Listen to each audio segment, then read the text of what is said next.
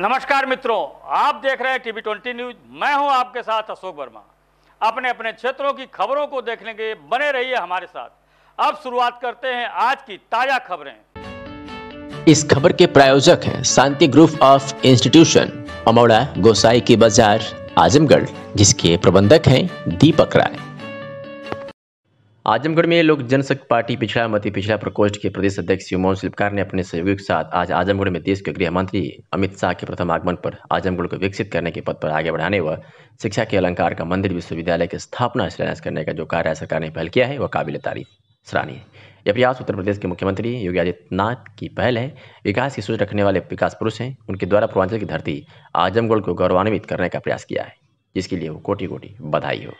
लोक जनशक्ति पार्टी की तरफ़ से समर्पित है। शिल्पकार ने आए क्या कुछ कहा आपको सुनवाते हैं। जी सर अपना परिचय दे दीजिए।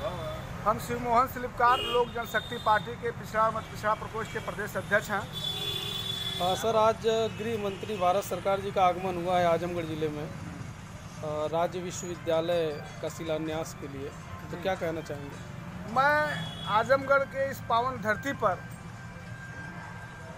माननीय अमित शाह जो हमारे देश के लाइन ऑर्डर गृह मंत्री हैं, मैं उनका तहे दिल से शुक्रिया और अभिनंदन स्वागत करता हूँ।